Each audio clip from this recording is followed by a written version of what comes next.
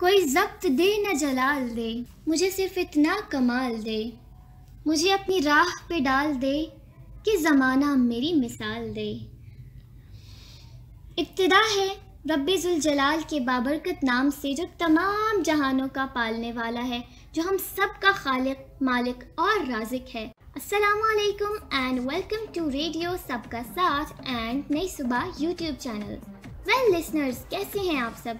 मैं उम्मीद करती हूँ कि आप सब बिल्कुल ठीक ठाक होंगे, खैरियत से होंगे, खुशबाश होंगे, हँसते मुस्कुराते होंगे और यकीनन अपनी ज़िंदगियों को भरपूर तरीके से इंजॉय कर रहे होंगे। लिसनर्स पहले तो मेरी जानब से आप सबको दिल की अथाह गहराइयों से ईद उल अजहा बहुत बहुत मुबारक हो। बताइएगा लिसनर्स कैसे गुजर रही है आपकी ईद और ईद के पुरमसरत मौके पर आप क्या कर रहे हैं? आपने इस ईद पर क्या कुर्बान किया? बकरा बैल गाय या ऊँट जो भी आपने ज़िबा किया वो भी आप हमें कमेंट्स में ज़रूर बताइएगा। और ये बताइएगा कि आप ईद के पुरमसरत मौके पर किस किस्म के लजीज खाने बना के अपनी फैमिली अपने फ्रेंड्स के साथ इंजॉय कर रहे हैं और क्या कर रहे हैं इसके अलावा आप इस ईद पे स्पेशल ये भी आप ज़रूर बताइएगा। वेल well, लिसनर्स इस वक्त आप मुझे नई सुबह के यूट्यूब चैनल और रेडियो सबका साथ पर सुन रहे हैं। आप हमारे नई सुबह के यूट्यूब चैनल को सर्च कर सकते हैं। इसके लिए आपको यूट्यूब की सर्च बार में लिखना होगा नई सुबह और नई सुबह का यूट्यूब चैनल आपके सामने आ जाएगा। नई सुबह के यूट्यूब चैनल को सब्सक्राइब कीजिए और बेल आइकन को ज़रूर क्लिक कीजिए ताकि नई सुबह के आने वाले तमाम नोटिफिकेशंस आपको रिसीव हो सकें, ताकि आप अपने फेवरेट आरजेस के शोज़ को बर वक्त सुन सकें। इसके अलावा लिसनर्स आप हमारे नई सुबह के फेसबुक पेज को भी फॉलो कर सकते हैं और आपको नई सुबह की तमाम अपडेट्स वहाँ से भी मिल जाएँगी। वेल well, लिसनर्स आप मुझे ये ज़रूर बताइएगा कि आपको मेरा शो कैसा लग रहा है। और मेरे शो के हवाले से कोई सजेशन या कोई आपकी राय हो तो वो भी आप कमेंट में ज़रूर दे सकते हैं। क्योंकि लिसनर्स ये हमारा ईद स्पेशल शो है तो ईद के स्पेशल शो में मैंने आपके लिए जो है वो कुछ एक दो चीज़ें डिफरेंट की हैं।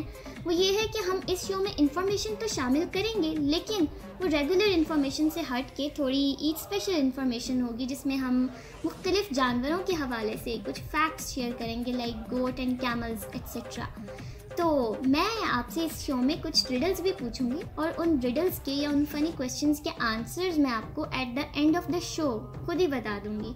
तो पहले चलते हैं हम अपनी पहली रिडल या पहले क्वेश्चन की तरफ़। पहला इंटरेस्टिंग क्वेश्चन ये है, जिसके बारे में आपने थोड़ी देर सोचना है। क्वेश्चन का आंसर मैं आपको अभी दे दूँगी। कौन सी चीज़ है जो हमें पढ़ने लिखने में तो मदद देती है, लेकिन ना ही वो पेपर है और ना ही पेन जस्ट इमेजिन ये कौन सी चीज़ है? ओके okay, लिसनर्स कुछ इंटरेस्टिंग फैक्ट्स मैं आपके साथ शेयर करती चलूँ। तो सबसे पहले हम बात करते हैं गोट जो कि एक पैक एनिमल भी है। इसके अलावा हम ईद के पुरमसरत मौके पर सुन्नत इब्राहिमी को फॉलो करते हुए कुर्बानी भी करते हैं। इसके हवाले से सबसे पहले तो मैं आपको ये बताती चलूँ कि बकरी को अरबिक में हम अलशाह कहते हैं। एक बकरी का जो जेस्टेशन पीरियड होता है वो फाइव मंथ्स होता है। एक बकरी के न्यूली बॉर्न किड का वेट टू टू फोर के होता है। बकरी की अगर हम स्पेशीज़ की बात करें तो बकरियों की टोटल 300 से ज़्यादा स्पेशीज़ दुनिया में पाई जाती हैं जिनमें से कुछ को सिर्फ़ दूध हासिल करने के लिए जबकि ज़्यादातर को गोश्त हासिल करने के लिए इस्तेमाल किया जाता है। वेल well, लिसनर्स एक अमेजिंग बात आपको बताती चलूँ। जैसे कि आपको पता है कि हमारे इंसानों के अंदर हमारे अंदर एक ही स्टमक होता है जो हमारे तमाम खुराक को डाइजेस्ट करता है। लेकिन बकरियों के हवाले से इंटरेस्टिंग बात यह है कि बकरियों के अंदर टोटल फोर स्टमक्स होते हैं, जिसकी वजह से उनका डाइजेस्टिव सिस्टम बहुत ही ज़्यादा स्ट्रॉन्ग होता है। ओके okay, अगर हम बात करें गोट मिल्क और गोट मीट के हवाले से तो दोनों ही जो है वो बहुत ज़्यादा फ़ायदेमंद है रिसर्च के मुताबिक। और दुनिया में सबसे ज़्यादा खाया जाने वाला गोश्त बकरी का गोश्त है और सबसे ज़्यादा लोग बकरी के दूध ही को इस्तेमाल करते हैं। अच्छा लिसनर्स कभी आपने बकरियों की आँखों को गौर से देखा है? बकरियों की आँखों के अंदर जो आई बॉल होता है या इनका जो प्यूपल होता है वो रेक्ट एंगुलर शेप का होता है। जबकि इंसानों की अगर बात की जाए तो इंसानों का या दीगर एनिमल्स का जो आई बॉल या पीपल होता है, वो सर्कुलर शेप में होता है या राउंड शेप में होता है, लेकिन गोट्स का शीप्स का और कुछ और एनिमल्स ऐसे हैं जिनका आई बॉल जो है वो रेक्ट एंगुलर शेप में होता है। ओके लिसनर्स बकरी जो है वो कभी भी अकेले रहना पसंद नहीं करती। ये हमेशा झुंड या रेवर में रहना पसंद करती है। अगर बकरी अकेले रहेगी तो वो उदास हो जाएगी। आपने देखा होगा कि जिन लोगों के पास सिर्फ़ एक बकरा होता है या एक बकरी होती है तो वो हमेशा अक्सर अवकात जो है वो बीमार रहता है। लेकिन अगर आप एक से ज़्यादा बकरी पालते हैं या बकरे पालते हैं तो फिर क्या होता है कि वो बिल्कुल सही रहते हैं। उनको कोई किसी भी किस्म का प्रॉब्लम नहीं होता। अच्छा बकरी जो है वो दुनिया का सबसे पहला और सबसे पुराना पेट एनिमल है। इसको नौ हज़ार से ग्यारह हज़ार साल पहले जो है वो पाला गया था और बकरियाँ पालना जो है वो अम्बिया सलाम का पेश है। मुख्तलिफ़ अम्बिया जो है वो अपने दौर में बकरियाँ पाला करते थे और कुछ अम्बिया जो है वो बकरियाँ चराया भी करते थे। बकरियों के जबड़े में ऊपर वाले दांत, यानी इनके अपर टीथ्स जो है वो नहीं होते। अच्छा बकरियाँ जो है वो बेसिकली एक पहाड़ी जानवर है। बकरियाँ पहाड़ों पे बहुत आसानी से चढ़ सकती हैं। इसके अलावा बकरियाँ दरख्तों पे भी चढ़ सकती हैं और दरख्तों पे चढ़ के अपने लिए बासानी जो है वो अपना खाना या अपना मील तलाश कर सकती हैं। अच्छा लिसनर्स बकरियों के हवाले से एक इंटरेस्टिंग बात यह है कि ये एक दूसरे से बिल्कुल इंसानों की तरह बात करती हैं और एक दूसरे की आवाज़ को पहचानती हैं। जैसे हम इंसान किसी की आवाज़ सुनते हैं तो हम फ़ौर पहचान जाते हैं कि ये कौन बात कर रहा है और कहाँ से बात कर रहा है। इसी तरह बकरियाँ भी एक दूसरे की आवाज़ को पहचानती हैं और वो बिल्कुल उस इंसान के सवाल के मुताबिक ही उसको रिस्पॉन्ड करती हैं। अच्छा जी, अगली बात ये है, अगला फैक्ट ये है कि बकरियों को अगर किसी दूसरे इलाके में ले जाएँगे तो उनकी आवाज़ बदल जाएगी, उनकी टोन बदल जाएगी और फिर वो उस इलाके के रिवाज के मुताबिक, उस इलाके के मुताबिक जो है वो दूसरी बकरियों से बातचीत करेंगी। अच्छा जी, अब अगर हम बात करें कि एक बकरी जो है वो किस एज में मेच्योर होती है तो बकरी जो है वो चार से बारह मंथ्स के दरमियान जो है वो मेच्योर हो जाती है और एक बकरी की एवरेज एज जो है एक कुत्ते की एज के बराबर है, जिस तरह एक डॉग की एज होती है 15 टू 18 इयर्स तो एक बकरी की एवरेज एज भी 15 टू 18 इयर्स है। और एक और मज़े की बात आपको बताती चलूँ कि अगर आप बकरी का नाम रखेंगे, कोई भी बकरी को नाम दे दें आप अपने पेट एनिमल को तो आप उसे अगर उस नाम से बुलाएँगे तो वो अपना नाम याद रखेगी और हमेशा जब भी आप उसे उसके नाम से बुलाएँगे, वो फ़ौर आपको रिस्पॉन्ड करेगी या फ़ौर आपके पास आ जाएगी। ये बड़ी मज़े की बात है। तो जिन लोगों ने भी बकरियाँ रखी हुई हैं तो आप अपनी बकरियों के नाम ज़रूर रखें ताकि वो आपके पास फ़ौर आ जाएँ। राइट लिसनर्स अच्छा जिस तरह इंसानों की आवाज़ों के डिफरेंट एक्सेंट्स होते हैं, बिल्कुल इसी तरह बकरियों की आवाज़ों के भी डिफरेंट एक्सेंट्स होते हैं और वो डिफरेंट तरह से बोलती हैं। अच्छा अब्राहम लिंकन के बारे में तो आप सबको ही पता होगा, जो कि अमेरिका के एक बहुत ही फ़ेमस प्रेसिडेंट थे। उनके दौर में वाइट हाउस में दो बकरियाँ थीं, नैनी और नैनको, जो कि उनको बहुत ज़्यादा पसंद थी, क्योंकि बकरियाँ पालना उनका बहुत ही एक फेवरेट मशगला था, उनकी एक फेवरेट हॉबी थी और उनको बकरियों से बहुत ज़्यादा प्यार था। ओके लिसनर्स अब आपको एक मज़े की बात बताती चलूँ कि कॉफ़ी जिसको हम बहुत ज़्यादा पीते हैं, बहुत सारे लोगों को कॉफ़ी बहुत पसंद होती है तो आपको ये जानकर शायद हैरत हो कि बकरी ने कॉफ़ी डिस्कवर की थी। यस बकरी ही वो जानवर था जिसने कॉफ़ी को पहली बार जो है वो डिस्कवर किया था। अगर हम बकरियों की मेमोरी की बात करें तो बकरियों की मेमोरी बहुत ज़्यादा शार्प होती है और बहुत ज़्यादा तेज़ मेमोरी होती है। ये दो साल तक पुरानी बातों को याद रख सकती हैं। इनकी मेमोरी इस हद तक शार्प होती है, ठीक है? और एक और मज़े की बात आपको बताती चलूँ कि चॉकलेट खाने से बकरी मर जाती है, क्योंकि जब आप बकरी को चॉकलेट खिलाते हैं या उसे चॉकलेट देते हैं तो उससे उसके डाइजेस्टिव सिस्टम पे बहुत बुरा इफ़ेक्ट पड़ता है और बकरी का डाइजेस्टिव सिस्टम टोटली डिस्टर्ब हो जाता है, जिसकी वजह से उसकी इंस्टेंट डेथ भी हो जाती है। अच्छा एक और बात भी बता देती हूँ कि बकरी रात के अंधेरे में बिल्कुल दिन ही की तरह देख सकती है। जिस तरह हम दिन में देखते हैं, जिस तरह बकरियाँ दिन में देखती हैं, बिल्कुल इसी तरह वो रात के अंधेरे में भी उन आपको प्रॉपर सही नज़र आता है। और इसके अलावा आपको एक और मज़े की बात ये बताते चलूँ कि बकरी को पानी से नफ़रत है। पानी में जाने को या पानी में उतरने को स्विमिंग को बिल्कुल पसंद नहीं करती है क्योंकि उसे इस चीज़ से बहुत ज़्यादा खौफ आता है। अच्छा लिसनर्स ये तो थे बकरियों के बारे में कुछ बड़े ही इंटरेस्टिंग फैक्ट्स तो यकीनन जान के आपको अच्छा लगा होगा और आपको मज़ा आया होगा सुन के।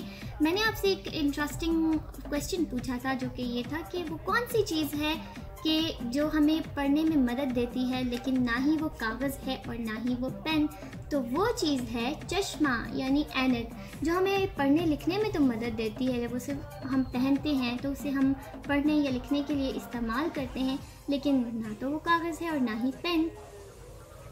ओके लिसनर्स तो अब मैं आपसे एक और बड़ा ही इंटरेस्टिंग क्वेश्चन पूछने लगी हूँ, जिसका आंसर भी मैं आपको इस शो के एंड में ज़रूर बता दूँगी। और सवाल कुछ यूँ है कि आपने सोचना है, वो कौन सी चीज़ है जिसे हम खाने के लिए लाते हैं, लेकिन हम उसे खाते नहीं हैं? यस तो आप इमेजिन करें कि वो कौन सी चीज़ है। तो लिसनर्स अब मैं आपको ऊँट के बारे में कुछ इंटरेस्टिंग फैक्ट्स बताऊँगी। ऊँट भी एक ऐसा जानवर है जिसे हम सुन्नत इब्राहिमी को फॉलो करते हुए कुर्बान करते हैं क्योंकि ऊँट एक हलाल जानवर है। अगर इसके कुछ फैक्ट्स के बारे में बात करूँ तो ऊँट एक बहुत ही पुरअमन और बहुत ही यूज़फुल एनिमल है और ये एक पेट भी है, लेकिन इसे लोग पालते कम हैं।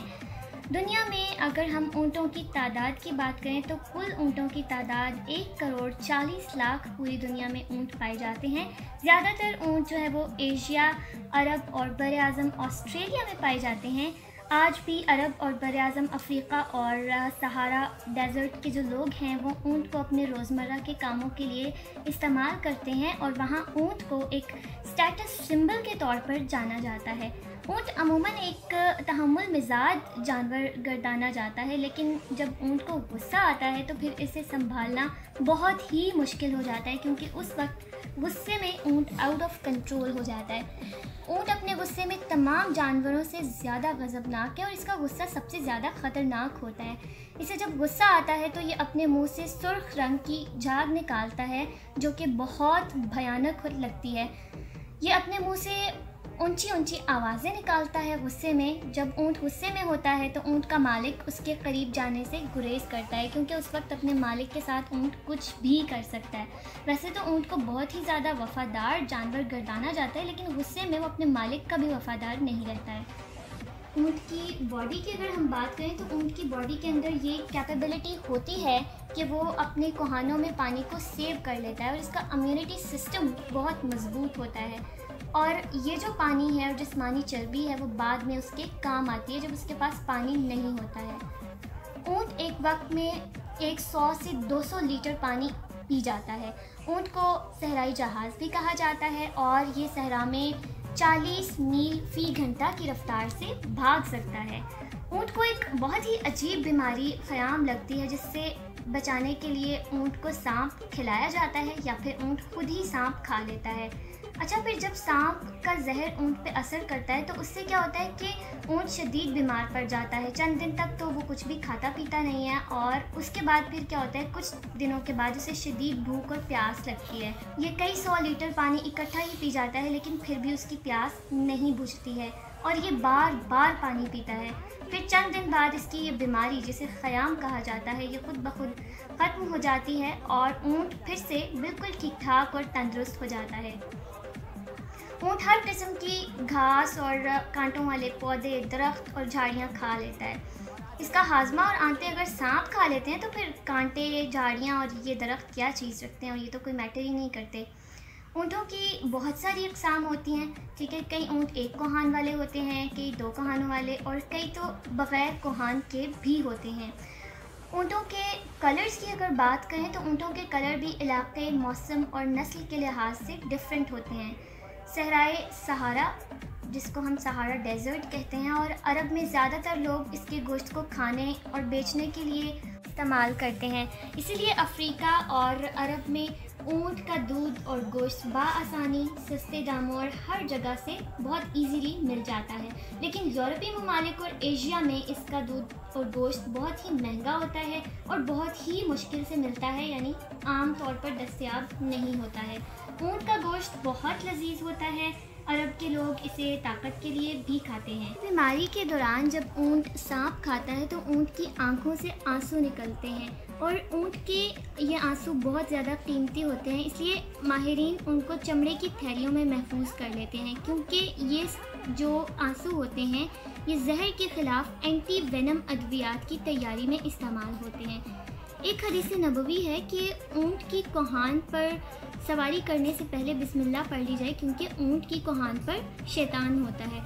ऊँट ऐसा जानवर है जिसके बारे में कुरान पाक में ये इरशाद फरमाया गया है। वैसे तो कुरान पाक में मुख्तलिफ़ जानवरों का ज़िक्र है, लेकिन ऊँट के बारे में ख़ास तौर पर यह कहा गया है कि उसकी पैदाइश पर गौर किया जाए, यानी तदब्बर किया जाए। वेल, अगर ऊँटों की एवरेज एज की बात की जाए तो एक ऊँट की एवरेज एज 40 टू 50 इयर्स है। और ऊँट की नाक के हवाले से आपको इंटरेस्टिंग बात बताते चलूँ कि ऊँट की नाक जो है वो टेढ़ी होती है, जिसकी वजह से ऊँट की नाक गर्दो गुबार से महफूज रहती है और जब सहरा में तेज़ तूफ़ान आता है या तेज़ आंधी आती है तो उसकी नाक पे असर नहीं करते हैं। इसी तरह ऊँट की आँख जो है वो तीन झिल्लियों के अंदर होती है, जिसकी वजह से ऊँट की आँखें भी गर्दो गुबार से महफूज रहती हैं और ऊँट अपनी झिल्ली के अंदर से जो है वो किसी भी चीज़ को इजीली देख सकता है और उसकी आँखों पर मट्टी या गर्दो गुबार वगैरह बिल्कुल भी नहीं छाता है। अगर ऊँट के दांतों के हवाले से बात करें तो ऊँट के दांत इंसानों से दो ज़्यादा होते हैं। दांत ऊँट के ऊँट के टोटल 34 दांत होते हैं जबकि इंसानों के टोटल 32 दांत होते हैं। वेल well, लिसनर्स ये थे कुछ इंटरेस्टिंग फैक्ट्स ऊँट के बारे में जो कि यकीनन सुन के आपको अच्छा लगा होगा। मैंने आपसे एक क्वेश्चन पूछा था शो के मिड में कि वो कौन सी ऐसी चीज़ है जिसे हम खाने के लिए लाते हैं, लेकिन हम खाते नहीं हैं। जिसके बारे में आप तब से इमेजिन कर रहे थे। सो स्टॉप इमेजिनिंग लिसनर्स मैं आपको इसका आंसर बताती हूँ। इसका आंसर है चम्मच। वेल लिसनर्स इसी के साथ मेरे शो का वक्त हुआ चाहता है ख़त्म। लेकिन उससे पहले मेरी जानब से आप सबको ईद उल अजहा एक दफ़ा फिर से बहुत बहुत मुबारक हो। अपनी ईद को अपने फ्रेंड्स और फैमिली के साथ इंजॉय कीजिए बारबेक्यू कीजिए। लेकिन उसके साथ साथ सफ़ाई सुथराई का ख्याल रखिए, चूँकि ईद का मौका है और इस ईद पर चूँकि कुर्बानी होती है और कुर्बानी की वजह से आपके सराउंडिंग्स में बहुत ज़्यादा सफ़ाई सुथराई का ख्याल नहीं रखा जाता है, लेकिन आपको पता है कि कोविड 19 की फोर्थ वेव आ चुकी है और उसके केसेस भी रिपोर्ट हो रहे हैं। इसलिए एस का ख़ास तौर पे ख्याल रखें और अपने इर्द गिर्द के इन्वायरमेंट को नीट एंड क्लीन रखें, ताकि आप कोविड से बच सकें। खुश रहें, दूसरों को खुश रखें, दूसरों के लिए आसानियाँ पैदा करें। मुझे दीजिए इजाज़त इन ज़िंदगी रही तो आपसे मुलाकात होगी नेक्स्ट शो में। तब तक के लिए मैं बस आपको यही कहूँगी कि take a very very good care of your self and your loved ones remember me in your precious prayers this is me Amara Chaudhary signing off and saying Allah Hafiz and again Eid Mubarak to all of you. और आज